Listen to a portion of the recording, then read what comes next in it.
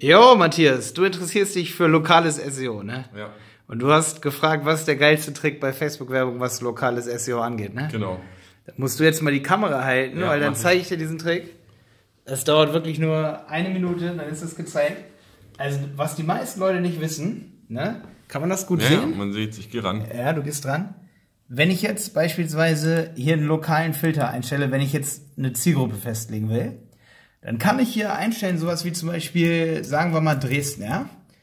Jetzt nehmen wir mal Dresden, zack. Und sage beispielsweise, dass ich nur Leute in Dresden mit meiner Facebook-Werbung erreichen will. Und dann kann ich hier so einen Filter einstellen und könnte sagen, nur Leute, die 14 Kilometer im Umkreis wohnen.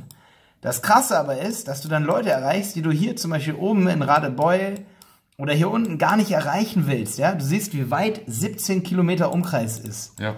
Das ist die Problemstellung. Und viele Leute, die Facebook-Werbung schalten, finden nicht raus, dass du hier eine Straße eingeben musst. Ja, wir sind zum Beispiel jetzt hier in der Bautzner Straße, ja.